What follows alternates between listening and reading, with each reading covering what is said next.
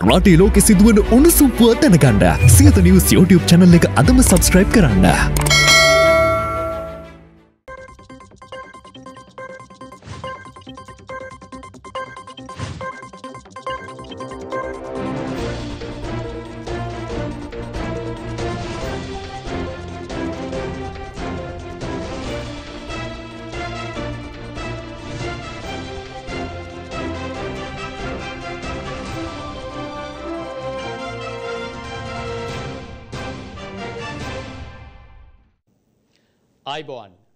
අපක්ෂපාතී මධ්‍යස්ථ ප්‍රවෘත්ති වාර්තාකරණයේ ප්‍රමුඛයා සියද TV රාත්‍රී ප්‍රවෘත්ති විකාශයයි ආරම්භ වන්නේ. මම උදේශා නිඩම ගෙදර ප්‍රථමයෙන් රාත්‍රී පුවත් සිරස්තල. TV රේටින් බොරු රේටින්ස් දෙන්නේ පක්ෂග්‍රාහීව එය අක්‍රමවත් ජනමාධ්‍ය අමාත්‍යංශ ලේකම් අනුෂ පැල්පිට කියයි. විකාශන අධිකාරී පනත මාධ්‍ය මර්ධනයටද චරිතගෙන් හෙළිදරව්වක්. ශ්‍රී ලංකාවේ ආර්ථික ප්‍රතිසංස්කරණය ගැන IMF සතුට කෙනජියොක්කමුරා ශිහාන්ට කියයි. ජනපති රනිල්ට ආර්ථිකය ගොඩගන්න චීනෙන් සහය. ණය හිඟමනේ යනෝ වෙනුවට ඩොලර් උපයන ක්‍රම රටට කියන නායකත්වයක් අවශ්‍යයි. අඩුම ගානේ ඇඟලුම් කර්මාන්ත ශාලා ටිකවත් බේරගන්න ක්‍රමයක් කියන්න කියලා නිදා සිටින දේශපාලච්චීන්ට අද ටෙලිවැකිය අභියෝග කරනවා. පොසොන් සතිය අදින් නැරඹෙයි. ශ්‍රී ලංකාවේ සංචාරයක නිරතව සිටින IMF නියෝජ්‍ය අධ්‍යක්ෂ කෙනජි ඔකමුරා අද ජනාධිපති රනිල් වික්‍රමසිංහ මුදල් රාජ්‍ය අමාත්‍ය ශ්‍රහන් සේමසිංහ සහ අධිකරණ අමාත්‍ය විජේදාස රාජපක්ෂ හමු වී තිබෙනවා. එහිදී ඔහු මෙරට ආර්ථික ප්‍රතිසංස්කරණ වැඩපිළිවෙල ඇගීමට ලක් කර තිබුණා.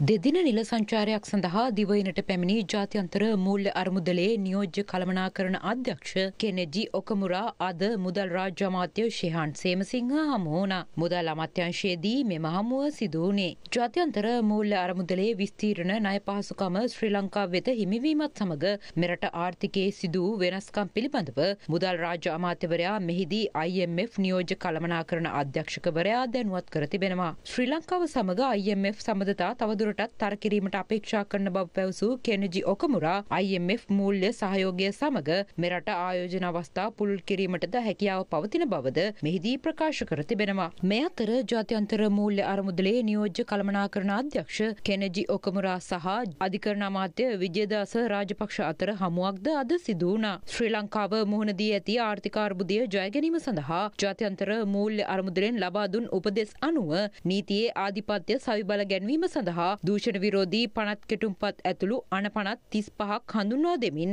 අධිකරණ අමාත්‍යංශය සිදු කළ කාර්යභාරය මෙහිදී ජාත්‍යන්තර මූල්‍ය අරමුදලේ කළමනාකාර අධ්‍යක්ෂවරයාගේ ඇගීමට ලක්වුණා. මේ අතර අද පසරුවේ ජාත්‍යන්තර මූල්‍ය අරමුදලේ නියෝජ්‍ය කළමනාකාර අධ්‍යක්ෂ කෙනජි ඔකමුරා සහ ජනාධිපති රනිල් වික්‍රමසිංහ අතර හමුවක් සිදු වුණා. එහිදී IMF වැඩසටහනේ ප්‍රගතිය පිළිබඳව දීර්ඝ වශයෙන් සාකච්ඡා වූ අතර දැනට පවතින ණය ප්‍රතිව්‍යුහගත කිරීම කෙරෙහිද මෙහිදී අවධානය යොමු කෙරුණා. මේ අතර අද වන විට ඩොලරයට සාපේක්ෂව රුපියල තවදුරටත් අධි ප්‍රමාණය වී පවතිනවා. අද වන විට ඇමරිකානු ඩොලරයක ගැනුම් මිල රුපියල් දෙසි අසූ හතයි ශත අසූ හතක් ලෙස සටහන් වූ අතර එහි විකුණුම් මිල සටහන් වුණේ රුපියල් තුන්සීයයි ශත අනූ දෙකක් ලෙසයි. ඩොලරය අවප්‍රමාණය වීමේ වාසිය හමුවේ ආනයිනික ගොඩනැගිලි ද්‍රව්‍යවල මිල ගණන් සංශෝධනය කිරීම පිළිබඳව අවධානය යොමු කරමින් විශේෂ සාකච්ඡාවක් ඊයේ පැවැත්වුණා. ඒ මුදල් රාජාමාත්‍ය රංජිත් සියබලාපිටියගේ ප්‍රධානත්වයෙන්. ජනාධිපතිතුමාට අපිට නියම කරා රුපියලගේ ශක්තිමත් වීමට සාපේක්ෂව ඉදිකිරීම් කර්මාන්තයට ගන්න ද්‍රව්‍ය වලින් වැඩි ප්‍රමාණයක් අපි ආනයනිත ද්‍රව්‍යනේ එනිසා ඩොලරය අගේට සාපේක්ෂව දැනට මේ මේ ද්‍රව්‍යවල තියෙන මිල අඩුවීම සාධාරණද කියන එක ගැන බලන්න. ඒක සාමාන්‍යයෙන් අපි කවුරුත් මැදිහත් වෙන්න ඕන වෙන කාරණාවක් වෙනවා. නැත්තම් අපි බලාපොරොත්තු වෙන්න හොඳ නැහැ මේක ස්වයංක්‍රීයව වහාම සිද්ධ වේවි කියලා සිද්ධ වෙන්නේ නැහැ. එහෙම සිද්ධ වෙන්න ඉඩක් නැහැ විවෘත ආර්ථිකයක යම්කිසි මඟ පෙන්වීමක් කරන්නම වෙනවා.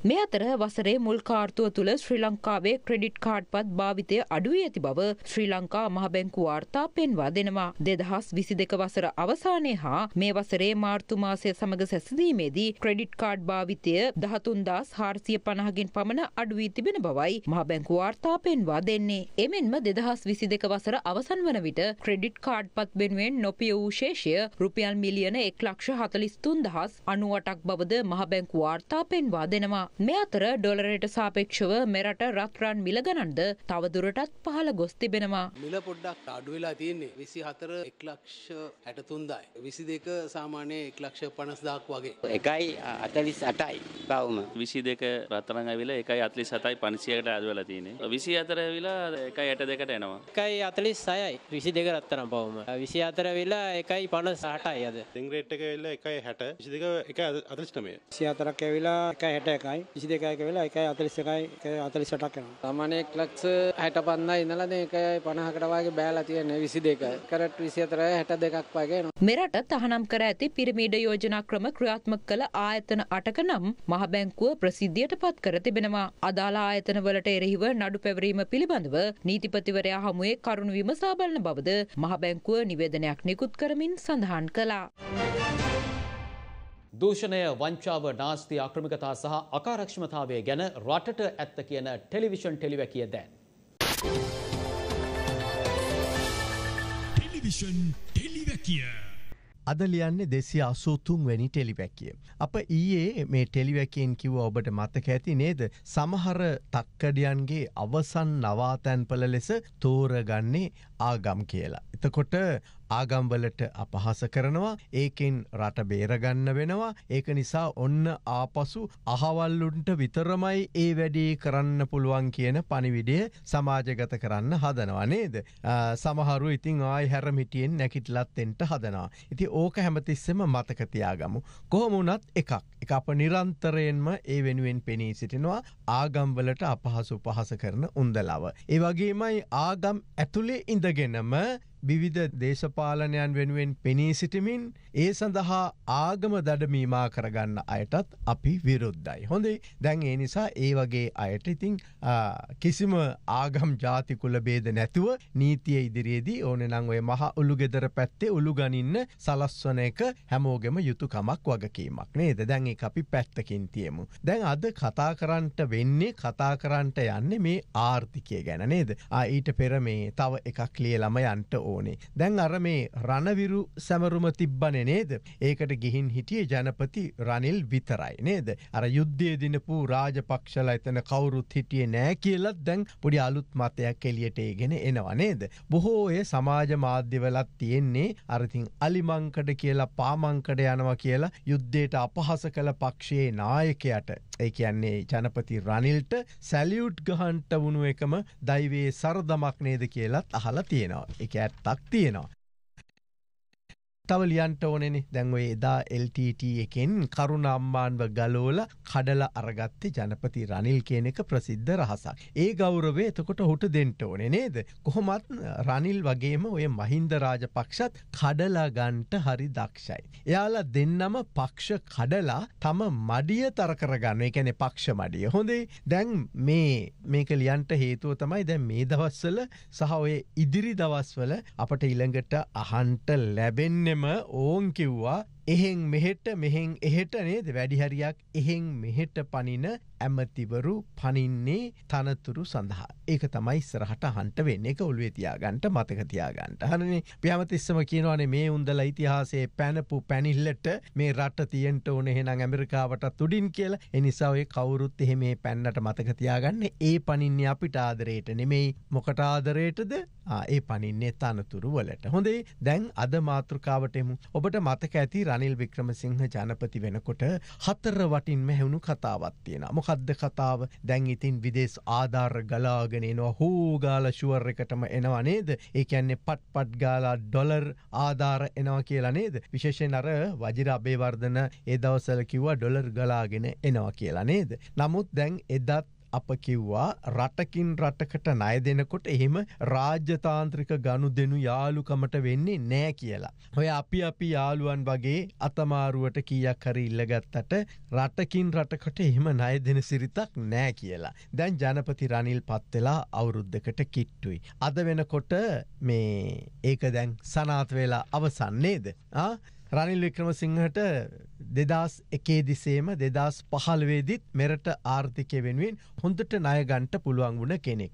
එකැනෙ දෙදස් පහළවේදී යහපාලනය තුළ විතරක් ඔහු ඇමරිකානු ඩොල බිලියන දහයක විතර නයක් ගත්තනේද වැඩ්ඩිම ණය. නමුත් දැන් මෙවර රනිල් වික්‍රමසිංහ ජනපතිට ඩොලර් ගස එකනෙ ඩොලර් ණයගස තාම හරියට හොලෝගන්ට බැරි වුණ හරද හෙලෙව්වට ඩොලර් වැටෙන්නේ නෑ. මොකද ජනපති රනිල් ජනපති වූ විගස ඔහුගේ අගසව් වගේ ඉන්න වජිරාභයවර්ධන ගණන් හිලව් එක්කමනිකිවේ රනිල් ජනාධිපති වෙලා පෑ හතලිස් අටකින් ඇමරිකානු ඩොල බිලියන හතරක් විතර ලැබෙනවා කිව්ව. ද අද ඒක පට්ටපල් අමූලික බොරුවක් බවට පත්වෙලා අවසන්නේද. IMF එකේ ඇමරිකානු ඩොල බිලියන තුනයි දසම නමේගාව තමයි තාම අපිට අනතර වෙලා ඉන්ට සිද්ධ වෙලා තියෙන්නේ දේකින් හම්බුනෙත් මිලියන තුන්සිය ගානයි. දැන්ව ඊයේ තවත් මොකක්දනයක් හම්බුනා නේද. දැන් අපිට ඒ සඳහා හත්තර අතේ එක එක කොන්දේසිවලට යටත්වෙන්ට වෙලා නෙනේද. දැන් ඉල්ළඟ ටෙලිවැකියකින් IMF ණය සහ ලෝකේ වෙනත් රටවලට IMF දුන්න නයත් අන්තිමට ඒ සමහර රටවලට මොකද වනේ කියන එකත් ලියල තියන්ට යන්න හොඳේ දැම් බලමු ඉළඟට ඇහෙන කතාව තමයි රනිල් වික්‍රමසිංහ ජනපතිට ජපානය මාර විදිහට සලකනවා කියනවා නේද. ඒ ජනපති රනිල්ගේ මාම ජයාර් නිසා ඒක ඇත්ත. රනිල් ජනාධිපති වෙලා දින කිහිපයක් ඇතුළත ශ්‍රී ලංකාවේ ජපාන තානාපති ජපානයට ගියා මතකන එදා ඔය සමහර මාධ්‍ය වාර්තා කළේ ඔහු ගිය ජපානයට කතා කරලා අපිට ඩොලර්ගේන්ට කියලා නේද. නමුත් හැරෙන තැපෑ පෑලෙන් ලංකාවේ ජපහන තානාපති කාරයාල කිව්වේ ජපන් තානාපති මේ තමන්ගේ උපන් රටට ගිය කැන්නේ ජපානයට ගියේ සැත්කමකට කියලා නේද. දැම් මෙවර ජපානයට යන්ට පෙර සමාජගත කළ කතාව තමයි තේරවාදී බුදුදහම ඉගෙනගන්ට පුළුවන් විශ්වවිද්‍යාලයක් ජපන් ආධාර යටතේ හදන්ට ජපන් ආධාර ඉල්ලනවා කියලා නේද. නමුත් තාමනම් ජපානය එහෙම නිල ප්‍රකාශයක් කළේ නෑ විශ්වවිද්‍යාලයක් හදන්ට උදව් කරනවා කියලා. සමහරුන්නම් කියන්නේ මේ පාර ජනපති රනිල් ජපානයට ගිහිල්ලා නේද අරාපි අතෑර්ලදාපු ජපානය අපට දෙන්ට ගිය මොනෝරේල්වේ ප්‍රජෙක්් එක තියෙන්නේ නේද අං ඒක ගැන සමාවිල්ලන්ට ඇති කියලනම් සමාරක් වෙලාට අපිට හිතෙනවා. මොකද ඒ මොනෝරේල් ප්‍රොජෙක්් එක අන්තිමට නතර වුණේ බංගලදේශය නිසා නේද. දැන් අන්තිමට අප නතර වෙලා ඉන්නේ IMF එක ළඟන නේද දහසකුත් ණය කොන්දේසි මත. ඇමරිකානු ඩොල බිලියන තුනයි දසම නමයක් සඳහා අපි දේශීය ණය ප්‍රතිව්‍යගත කළ යුතුමයි. ඒ කෙතරම් භයානකද කියලා තාම කාටවත් මහලුකුට තීරෙන්නේ නෑ. නේද. යාන්තම් ඊය පෙරේද අර ආසියානු සංවර්ධන බැංකෝ ඇමරිකානු ඩොල මිලියන තුන්සිය පනාග තව නයක් දුන්න නේද. මේ ලැබුණෙත් සාමාන්‍ය නයක්. එහෙම නැතුව විශේෂ සහන යටතේ ලැබුණු නයක් නෙමේ. ඒ අතරවාරේ අර ඉන්දියාවත් කියනවා ඒගොල්ලු දුන්න ඇමරිකානු ඩොල බිලියනයට තව ටිකක් යහාට ගිහිල්ලා ඉළඟ අවුරුද්දෙත් ඒ අයවලින් බෙහෙත් ගන්න තෙල් ගන්න ඉඩ දෙනවා කියලා නේද. දැන් ඇත්තටම අපේ රටේ ආර්ථිකය තව තවත් මේ විදිහට ණය උගුලක සිරවෙමින් තමයි තිබෙන්නේ. එහෙම නැතුව අමුතු නැගිටීමක් පේනතෙක් මානයකවත් නෑ. හරිද දැන් ඊට කදිම උදාහරණය ඇඟලුම් ක්ෂේත්‍රය. කොවිඩ් සමයේ ලක්ෂ එකහමාරකට එතර රැකයා අහිමි වුණා. ඇඟලුම් ක්ෂේත්‍රයේ. දැන් තවත් පනස්දාහකට විතර මේ වෙනකොට රැකයා අහිමි වෙලා ඉවරයි. දැන් ඒ නිසා ඔය ඉන්න එකැන වැඩ කරන සේවකින් හොඳටම පීඩනයට අහු වෙලා ඉන්නේ. ඒ අයට වැඩ කරන්න තියෙන ප්‍රමාණයේ වැඩි වෙලා ඒ අය පීඩනයට පත් වෙලා. දැ රටට ඩොලර්ගේන ඇඟලුම් බේරගන්න. තාමත් කිසිදු සාකච්ඡාවක් ආරම්භ වෙලා නෑනි. කඩිනම් වැඩපිළිවෙලක් පේන තෙක් මානයක නෑනි නේද. දැන් අද ටෙලිවැකින් කියන්ටෝන වෙලා තියෙන්නේ බලධාරින්ට මෙන්න මේකයි. ඔහේලා හොරට නිදාගෙන හිටිය ඇති දැන්. හොරට නිදාගෙන සිටින සියලුම දෙනාට ඇගිල්ලෙන් ඇනල වැඩක් නෑ එනිසා මෝල් ගහකින් ඇනලා. ටෙලිවැකිය මෝල් ගහක් වගේ කියලා හිතාගෙන අං ඒකෙන් ඇල්ල මතක් කරන්නේ කරුණා කරලා. ගාලු මෝදරට ගහපු සන්දේශ පොල්ලකින් ගහලත් වැඩක් නෑ එනිසයි මෝල් ගහකින් ඇනලා කියන්නේ හොඳේ කරුණා කරලා ඇඟලුම් ක්ෂේත්‍රය බේර ගැනීම සඳහා පුළුල් සාකච්ඡාවක් ආරම්භ කරන්න. ඇඟලුම් ක්ෂේත්‍රයේ ප්‍රවීණයෝ සමඟ එකතු වෙලා ඉතා පැහැදිලි තීන්දු තීරණ අරගෙන රටට ඩොලර්ගේන නය නෙමෙයි හොඳේ ඩොලර්ගේන ඇඟලුම් කර්මාන්තය රැකගන්න පුළුවන් විදිමත් වැඩපිළිවෙලක් වහාම ආරම්භ කරන්න කියලා අද ටෙලිවැකිය මතක් කරනවා. රූපවාහිනි නාලිකා ශ්‍රණිගත කිරීමේ ක්‍රමවේදය නැතිනම් රේටින් බොරු කියලා අපි කිව්වේ අද ඊයේ නෙවෙයි. කුඩා නිරීක්ෂණ යන්ත්‍ර 300ක් නිවාසවල සවි කරලා දෙකෝටි 20 ලක්ෂයකගේ මතය ගැජට් කෑලි 250කින් 300කින් තේරීමේ ක්‍රමය තමයි අපේ රටේ රේටින්ස් කියලා කිව්වේ. ඒ ගැජට් හයිකරපු නිවාසවලටත් බලන්න ඕන ටෙලිවිෂන් නාලිකාව සල්ලි දීලා තියෙනවා කියන එක ප්‍රසිද්ධ රහසක්. ඒ බොරු රේටින් මත ඉඳලා අපේ රටේ බොහෝ ව්‍යාපාරික ආයතන වෙළඳැන්වීම සඳහා විශාල වශයෙන් මුදල් වියදම් කළා. ඒ නිසයි අපි සියලු රේටින්ස් වාර්තා බොරු බව පවසමින් ටෙලිවැකියෙන්ද ජනතාව දැනුවත් කළේ. රේටින් බොරු බව කෝපා කමිටුවේදීත් හෙළි වුණා.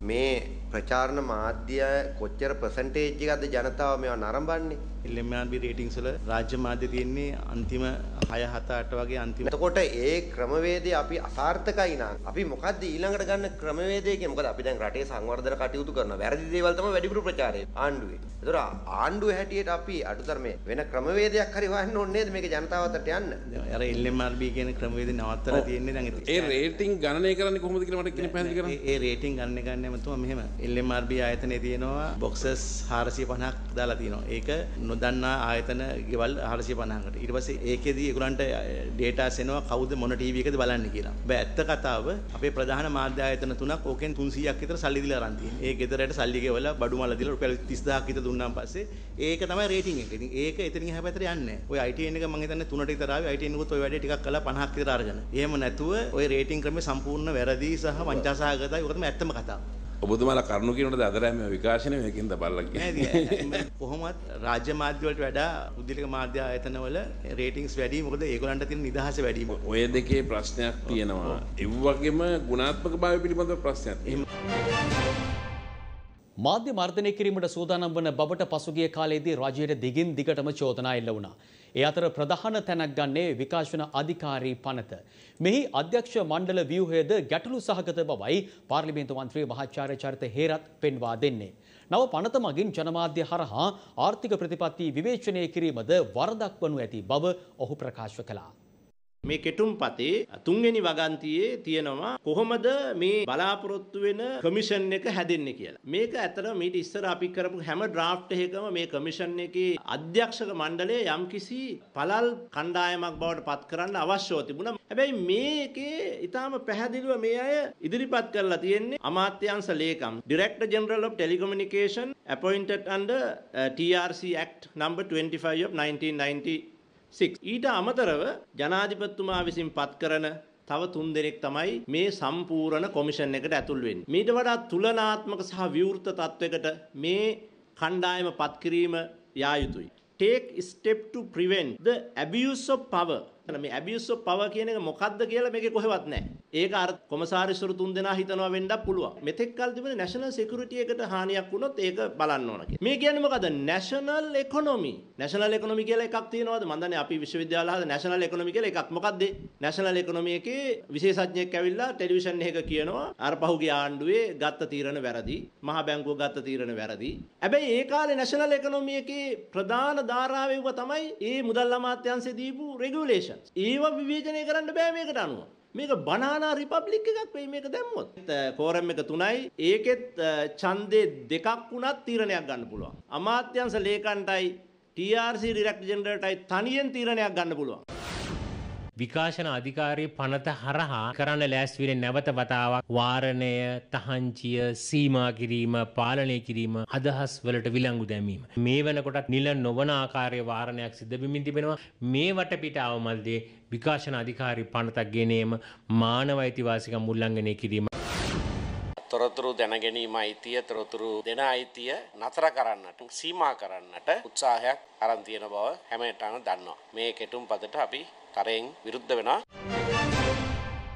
ශ්‍රී ලංකාවේ ආර්ථිකය ගොඩනැංවීම සඳහා චීන රජයේ පූර්ණ සහය ලබා දෙන බව එරට විදේශ කටයුතු උප අමාත්‍යවරයා ප්‍රකාශ කර තිබෙනවා. ඒ ජනාධිපති රනිල් වික්‍රමසිංහ හමු වූ අවස්ථාවේදී. මේ අතර කෘෂි ක්ෂේත්‍රයේ දත්ත ඩිජිටල්කරණය කිරීමේ කටයුතු පිළිබඳ සාකච්ඡාවක් ජනාධිපතිවරයාගේ ප්‍රධානත්වයෙන් පැවැත්වුණා. ශ්‍රී ලංකාවේ ආර්ථිකය ගොඩනැංවීම සඳහා ජනාධිපති රනිල් වික්‍රමසිංහ ගෙනනු ලබන ප්‍රයත්නයට චීන රජයේ පූර්ණ සහය ලබා දෙන බව චීන විදේශ කටයුතු උප අමාත්‍ය සන් වෙයිඩොන් අවධාරණය කර තිබෙනවා. දෙරට අතර ද්විපාර්ශ්වික සබඳතා ශක්තිමත් කර ගැනීම සම්බන්ධයෙන් චීනය උනන්දුවෙන් පසුවන බවද චීන උප ඇමතිවරයා ජනාධිපති රනිල් වික්‍රමසිංහ හමුවේ ප්‍රකාශ කර තිබෙනවා. මෙම තීරණාත්මක කාල පරිච්ඡේදය තුළ ශ්‍රී ලංකාවට චීනය ලබා දුන් නොසැලෙන සහය පිළිබඳව ජනාධිපතිවරයා මෙහිදී චීන උප ඇමතිවරයා වෙත සිය කෘතවේදීත්වය පළ කර සිටියා. ශ්‍රී ලංකාව සමග සමීප සම්බන්ධතාව වර්ධනය කර ගැනීමට චීනයේ කැපවීම අවධාරණය කළ උප අමාත්‍යවරයා දෙරට අතර ද්විපාර්ශ්වික සබඳතා ශක්තිමත් කර ගැනීම සඳහා වන අවස්ථා සොයා බැලීමට චීනය උනන්දුවෙන් පසුවන බවයි ප්‍රකාශ කළේ. චීන විදේශ කටයුතු උප අමාත්‍ය සන් වෙයිඩෝන්ගේ ශ්‍රී ලංකා සංචාරය සහ ජනාධිපති රනිල් වික්‍රමසිංහ සමග පැවති සාකච්ඡා දෙරට අතර ද්විපාර්ශ්වික සබඳතා ශක්තිමත් කරමින් සහයෝගීතාවය ඉහළ නැංවීමට ඉවහල් වන බව සඳහන්. මෙරට කෘෂිකර්ම ශේත්‍රයේ දත්ත ඩිජිටල් කරණය කිරීමේ කටයුතු පිළිබඳව සාකච්ඡාවක් ජනාධිපති රනිල් වික්‍රමසිංහගේ ප්‍රධානත්වයෙන් පැවැත්වුණා. අදාළ රාජ්‍යායතනවල නිලධාරීන්ගේ සහභාගීත්වයෙන් පැවති මෙම සාකච්ඡාවට බිල් සහ මෙලින්ඩා ගේට්ස් පදනමේ සමාජිකින් දෙක්ව සිටියා. කෘෂිකාර්මික ශේත්‍රයේ නවීකරණය, පෝෂණය, දේශගුණික විපර්යාසවලට මුහුණ දීම සහ මූල්‍ය සුරක්ෂිතතාව යන ශේත්‍ර සංවර්ධනය කිරීමේදී දත්ත මත පදනම් වූ තීරණ ගැනීමේ ප්‍රවේශය පිළිබඳව මිහිදී දීර්ඝ ලෙස සාකච්ඡා කර තිබෙනවා. මේ සම්බන්ධයෙන් දැනට ගෙන ඇති පියවර ඉදිරියට ක්‍රියාත්මක ක්‍රියාත්මක කරන ලෙසයි ජනාධිපතිවරයා නිලධාරීන්ට උපදෙස් ලබා දී ඇත්තේ. ඒ සඳහා මූල්‍යමය ආධාර සහ නවීන තාක්ෂණය සැපයීම සම්බන්ධයෙන් රජයේ ප්‍රතිපත්ති සහ රෙගුලාසි වලට යටත්ව මැදිහත් විය හැකි බවට ජනාධිපතිවරයා වෙත සහතික වූ මිල් සහ මෙලින්ඩා ගේට්ස් පදනමේ නිලධාරීන් ඒ පිළිබඳව දීර්ඝ ලෙස කරුණු ඉදිරිපත් කර තිබෙනවා. සමහරුන්ගේ උදෑසන දහවල් වගේම රාත්‍රී ආහාරයත් දුම්වැටි එහෙමත් නැතිනම් සිගරට්. ඒ විදිහට දුම්වැටි ආහාරයට ගන්න අයගෙන් දිනකට 50 දෙනෙකු පමණ මිය යන බවට වාර්තා තිබෙනවා. ඒ විවිධ රෝගාබාධවලට ගොදුරු වීම නිසා. අද ලෝක දුම්වැටි නිවාරණ දිනය. මෙවර තේමාව අපේ ආහාරය දුම්වැටි නෙවෙයි කියලයි. අද ලෝකයේ පුරාම දුම්පානයට එරෙහි දැවන්ත සටනක් ක්‍රියාත්මකයි. ඒ සටනට ප්‍රතිවිරුද්ධ සටනකුත් ක්‍රියාත්මක වෙනවා. ඒ දුම්බැටි සමාගම් සහ ඒ අය සමඟ සම්බන්ධ නිලධාරින් සහ දේශපාලනඥන්ගේ සගයන්ගේ මෙහෙවීමෙන්. ලෝකයේ පුරාම අඩු වැඩි වශයෙන් මේ තත්ත්වය දකිින්ට පිළිවන්. නමුත් සමස්තයක් ලෙස ගත් කල අද අසන්ට ලැබුණු සතුටු දායකම තොරතුර වූයේ ලෝකයේ පුරාම දුම්පානය අඩුවෙමින් පවතින බවයි. ශ්‍රී ලංකාවේද දුම්පානය අඩුවෙමින් පවතින බව නවතම වාර්තාවලින් සනාත වනවා. නමුත් අපේ රටේ සියලුම රජයන් දුම්බැටි සහ මධ්‍යසාර සම්බන්ධයෙන් නිවැරදි ප්‍රතිපත්තියක් අනුගමනය කළෙත් නැහැ කරන්නෙත් නෑ කරන බවක් පේනෙත් නෑ. හුදෙක්ම දුම් කළ සහ සුරාබදු මත යැපෙන්න්නට බොහෝ රජයන් උත්සහ කලා උත්සහ කරනවා. විශේෂයෙන් දුම්බැටිවලින් බොහෝ බදු අයකරගන්න පුළුවන්කම තියාගෙනත් දුම්බැටි සමාගම් සතුටු කිරීම වත්මන් රජයේද ක්‍රමේ බවට පත්ව තිබෙනවා. ඒවගේමයි සුරාබද්ධ. මේ දවස්වල මත්පැන් මිල ඉහලයි. මත්පැන් භාවිතය සියයට තිහිකින් විතර පහලගිහිල්ලා. මත්පැන් භාවිතය පහල යනකොටත් හොඳටම රිදෙන්නේ දේශපාලනක්ඥීන්ට. මොකද සුරාසැල් විශාල ප්‍රමාණයක් අයිති දේශපාලනක්ඥීන්ට සහ ඒ අයිගේ නෑදැයින්ට හිතමිතුරන්ටයි. කෙසේ නමුත් වසරකට සිරෝසිස් නිසා විසිදහකට වැඩියෙන් මේ යනවා. දුම්බැටිපානය නිසා පිළිකා ඇතුළු රෝගවලට ගොදුරුවන් අඩුමගානේ විසි පන්දහක් විතර වසරකට මේ යනවා. රජය මේ දුම්බැටි සහ සුරාබදුවලින් ලබන ආදායමට වඩා මේවයින් රෝගී වූවන්ට ප්‍රතිකාර සඳහා වියදම් කරන බව කියන්ට අවශ්‍යයි. ඒ සඳහා හොඳම උදාහරණය මුණගැසෙන්නේ දෙදස් පහලෝ වර්ෂයේ ගනං හිලව්වලින්. හොඳේ අදින් වසර අටකට පෙර ගනං හිලව්. දෙදස් පහළුවේ සුරාබදු ආදායම රුපියල් මිලියන එක්ලක්ෂ හද්දහස් දෙසිය තිස් හතරයි. රුපියල් මිලියන එක්ලක්ෂ හද්දහස් දෙසිය තිස් හතරයි. මත්පැන් නිසා රෝගී වූවන්ට ඔසිරෝසිස් වගේ.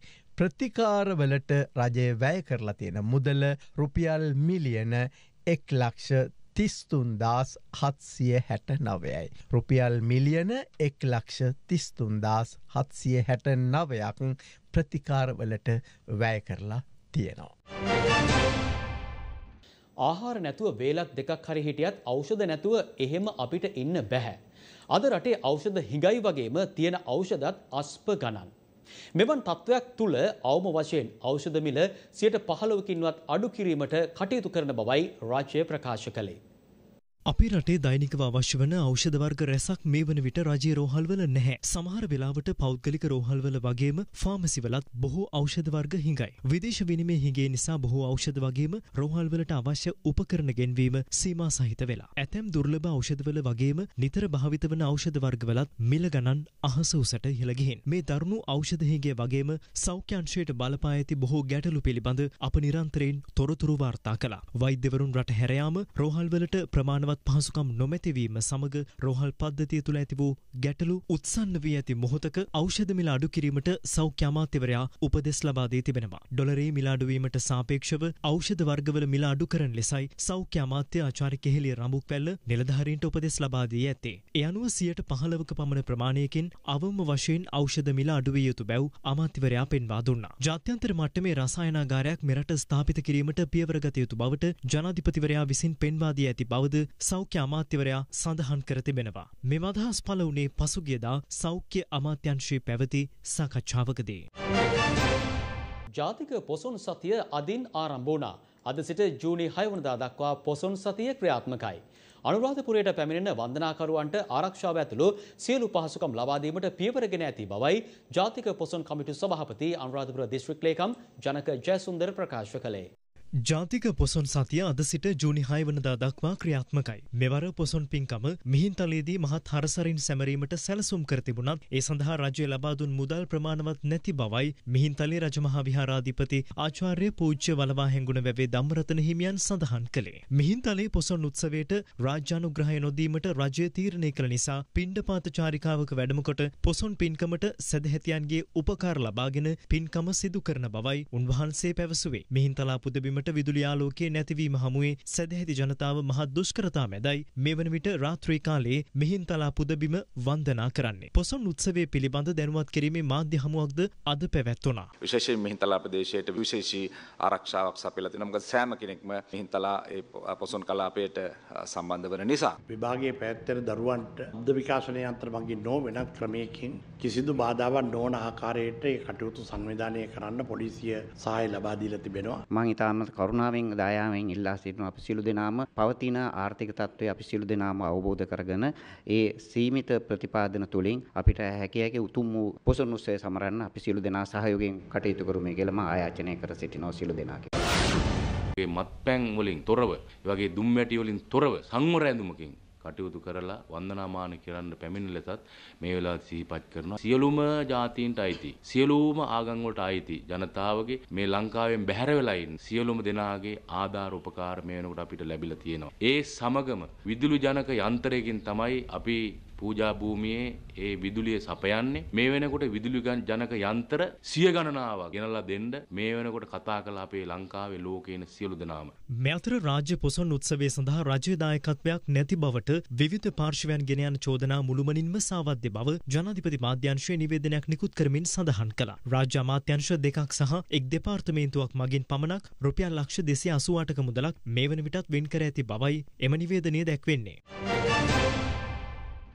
අතීතයේ සිට ජාතිවාදී හා ආගම්වාදී ගැටුම් ඇති කරමින් බලය දිනා ගැනීමට දේශපාලඥයන් කටයුතු කර ඇති බව සිරිල් ගාමිණී ප්‍රනාන්දුපි ඇතුමන් පවසනවා. ඒ කොළඹදී මාධ්‍ය හමුවක් කැඳවමින්. ආගමික විශ්වාසයන්ට සහ ආගමික ශාස්ත්‍රවරුන්ට අපහාස කිරීම කිසිසේත්ම අපි අනුමත කරන්නේ නැහැ. ජාතිවාදී සහ ආගම්වාදී ගැටුම් ඇති කරලා මේ රටේ ආරක්ෂාවට තර්ජනයක් නිර්මාණය කරලා ඒ ඔස්සේ බලය දිනා ගැනීමට උත්සාහ දරන ඇතැම් දේශපාලකයන් එවැනි අවස්ථා නිර්මාණය කිරීම සඳහා විවිධ පුද්ගලයන් ජනමාධ්‍ය සහ සමාජ මාධ්‍ය සැලසුම් සහගත ලෙස ප්‍රයෝජනයට ගැනීම අතීතයේ ඉඳන්ම මේ රටේ සිදු වෙලා තිබෙනවා. බෞද්ධ ආගම ප්‍රමුඛ මේ රටේ අනිකුත් ආගම්වලට අපහාස කර ඇතැයි සැක කරන පුද්ගලයන් පිළිබඳව මෙන්ම ඒ පසුපස සිටින සියලු පුද්ගලයන් සහ සංවිධාන පිළිබඳවත් පුළුල් සාධාරණ සහ ස්වාධීන විමර්ශන කරලා සත්‍ය එළිදරව් කර ගැනීම පොලිසියේ සහ අපරාධ පරීක්ෂණ දෙපාර්තමේන්තුවේ වගකීම බව අපි අවධාරණය කරනවා. මේ රටේ ප්‍රධාන ආගම වන බෞද්ධ ආගමට සහ බුදුන් වහන්සේටත් බෞද්ධ සංස්කෘතියටත් අපහාස වන අයුරින් කරන ලද ප්‍රකාශ අපි සම්පූර්ණයෙන්ම හෙලා දකිනවා. එසේම අනිකුත් සියලු ආගමික විශ්වාසයන්ට සහ ආගමික ශාස්ත්‍රවරුන්ට අපහාස කෙරෙන සියලු ප්‍රකාශත් අපි ප්‍රතික්ෂේප කොට හෙලා දකිනවා. විශ්වවිද්‍යාල ආචාර්යවරුන්ගේ සමිති සම්මේලනයේ නිලධාරීන් සහ විපක්ෂ නායක සජිත් ප්‍රේමදාස අතර සාකච්ඡාවක් පැවැත්වුණා.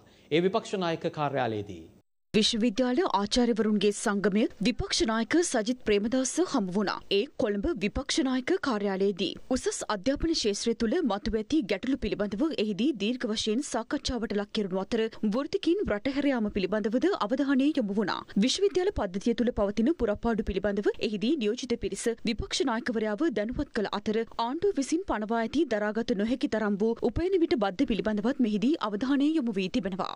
මේ අතර බිල් සහ මෙලින්ඩා ගේට්ස් පදනමේ නියෝජිතින් පිරිසක් විපක්ෂ නායක සජිත් ප්‍රේමදාස හමු වුණා. විපක්ෂ නායකවරයාගේ සංකල්පයක් මත ක්‍රියාත්මක කරන සක්වල වැනි වැඩසටහන් පිළිබඳව සිය ප්‍රසාදය පළ කළ එම නියෝජිතින් පිරිස විපක්ෂයේ හිඳමින් සිදු කරන සමාජ සත්කාරයන් පිළිබඳව ඇගීමට ලක් කළා. සංවර්ධනය වෙමින් පවතින රටවල සෞඛ්‍ය වැඩිදියුණු කිරීම සහ කුසගින්නෙන් සහ අන්ත දරිද්‍රතාවෙන් මිදීමට සමාජ සත්කාරමය වශයෙන් දායක වන ලොව ප්‍රමුඛ පෙළේ පදනමක් ලෙසයි බිල් සහ මෙලින්ඩා ගේට්ස් පදනම කීර්තියක් උසුලන්නේ.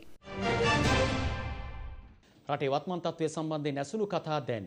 මිහින්තලේ පොසොන් උත්සවය ජාතික උත්සවයක් බවට නීතිගත කළ තියෙනවා. ඒ සඳහා කිසිදු සහයක් රජය විසින් ලබා නොදීම ඉතාම බරපතල කාරණයක්. මේ වගේ ස්ථානයක කරුවලේ යන්න මේ සිද්ධාස්ථාන වන්දනාමාන කිරීම විශාල අපහසුයක් මිහින්තලේ නායක හාමුදුරුවෝ නෙවෙයිනේ මේවා ඉල්ලන්නේ උන්වහන්සේගේ පුද්ගලික ප්‍රයෝජනයට නෙවෙයිනේ. දූෂිතයන්ගේ සහයෙන් බලයට පත් වූ ජනාධිපතිවරයා දැන් ඒ දූෂිතයන්ගේ ඉරකාරයෙක් බවට පත් වෙලා තියෙනවා.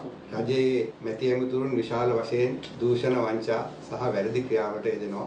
ඔවුන්ට දඬුවම් දීමට සහ ඔවුන්ව මෙල්ල කිරීමට ජනාධිපතිතුමාට හැකි වෙලා තියෙනවා. දේශපාලන පැත්තකට තියමු. වරද කාගේ වුණත් අපි හැමෝම එකට එකතු වෙන්න ඕනකම තියෙනවා. වරදි කරපු අයටත් යුතුයකමක් තියෙනවා. වරද්ද ඇවිල්ලා නිවැරදි කරන්න. ඉදිරියට මේ රට වෙනුවෙන් අපේ තියෙන වැඩපිළිවෙල මොකක්ද කියන කාරණය මත දේශපාලනය කරනවා විනා පහත් තත්ත්වයේ කාරණා තුල දේශපාලනය කරන පක්ෂයක් නෙමෙයි පොදු ජන පෙරමුණ. ඩොලර් එක ඉහළ යනකොට බඩු මිල ඉහළ නගිනවායි කියලා ආණ්ඩුව කිව්වා. දැන් ඩොලර් එක පහළට යනකොට බඩු මිල පහළට එන්න එපා. ආහාරද අනිකුත් අවශ්‍යතාවයද රෙදි පිළිද ගෙවල් දොරවල් වලට අවශ්‍ය එදිනෙදා දෛනික අවශ්‍ය සියලු දේද ඉතාමත් මිල අධික වෙලා තිබෙන්නේ. ඇත්තටම රෝහල් වල විශාල බෙහෙත් නිගයක් තියෙනවා. බාල බෙහෙත් ගේන පටන් ගන්න තියෙනවා. සමහර රෝහල් වල ඇස් වලට බෙහෙත් කරන සමහර ඖෂධ වර්ග නිසා ඇස් අන්ධ වෙච්ච අය ඉන්නවා. වෛද්‍යුන් හිඟයක් තියෙන නිසා අවසන් ගත්තොත් සෞඛ්‍ය සේවය බිඳ වැටෙමින් යන්නේ. රට යම් ප්‍රමාණයෙන් ඉස්සෙනකොට මේ රටේ පොදු ජනයා බංකලොත් වෙලා. IMF එකෙන් කරන්න පුළුවන් දුර ප්‍රමාණයක් සීමාවක් තියෙනවා. මේ රටේ දැන් පවතින තත්ත්වය. මේ රටේ ජනතාව බංකලොත් වෙලා තියෙන එක ඒ ප්‍රශ්නය මිදෙන්න නම් ආණ්ඩුව විසින් වැඩපිළිවෙලක් තියෙන්න ඕනේ. අපේ ප්‍රශ්නය මේ ආණ්ඩුවට ඒ හැකියාව තියෙනවාද කියන ගැටලුව. අද ආර්ථික ගැටලු වලට මිනිස්සු මුණ දීලා ඉන්න නිසා සමහරු මේ යන විදියට කැමති. සමහරු මේ යන විදියට කැමති නැහැ. රජය විශ්වාස කරන්නේ මේ ආකාරයට විතරයි ආර්ථිකය ගොඩ දාන්න පුළුවන්. ඊට විරුද්ධව යම් කිසි කෙනෙක් කතා කරනවා නම් ඒක අසත්‍ය තොරතුරක්. අසත්‍ය තොරතුර ප්‍රකාශ කරපු විද්‍යුත් නාලිකාවේ බලපත්‍රය තහනම් කරන්න පුළුවන් කියලා. එහෙනම් අපි මේ කොහෙටද යන්නේ? බැංකු ගිණුමක් අරින්න ඩෙන්ටි කාඩ් එකක් නැතුව බෑ. ඩෙන්ටි කාඩ් එකක් හදන්න උප්පැන්නයක් ඕන. ග්‍රාමීණධාරී මහත්තුරු ළඟට නෝනලා ළඟට මොනවා හරි ඉල්ලන්න ගියොත් එහෙම නැත්නම් වෙනත් ඕ කුමන හෝ අනන්‍යතාවයක් තහවුරු කරගන්න ගියොත් එක්ක උප්පැන්න සහතිකෙත් නැත්නම් ඩෙන්ටි කාඩ් එක අනන්‍යතාවයේ තහවුරු වෙන ලියුම් ඉල්ලනවා. ඉතින් අපි ලියුම් ඉල්ලනවා නම් රජයේ නිලධාරී විදිහට අපිම දැනගන්න ඕන මේ ලියවිලි ටික හදලා දෙන්න. රටවටා සියත දැන්. ශ්‍රී ලංකා නීති විද්‍යාලීය නීති ශිෂ්‍ය බෞද්ධ සහෝදරත්වය මගින් වාර්ෂිකව පවත්වන ලේදන්දීමේ පින්කම අද පැවැත්වුණා. ඒ නීති විද්‍යාලීය ප්‍රධාන ශාලාවේදී.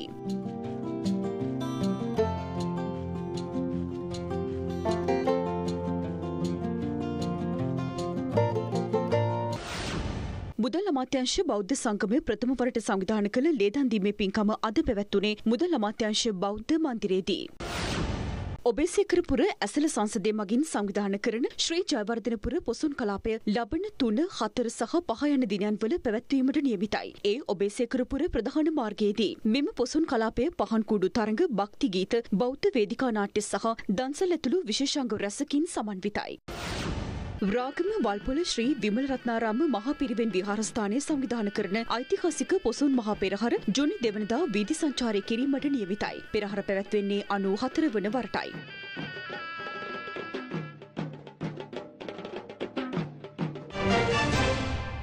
රාත්‍රී ප්‍රවෘත්ති අවසන්. අප යළිත් හමුවන්නේ හෙට උදෑසන 6ට උදෑසන ප්‍රවෘත්ති සමකයෙන්. ඔබට සුවදායි රාත්‍රියක්. දෙනපතා අලුත් වීඩියෝ සහ ප්‍රවෘත්ති නැරඹීමට ඉහත බටන එක කලික් කර සියත TV සබස්ක්‍රයිබ් කරන්න.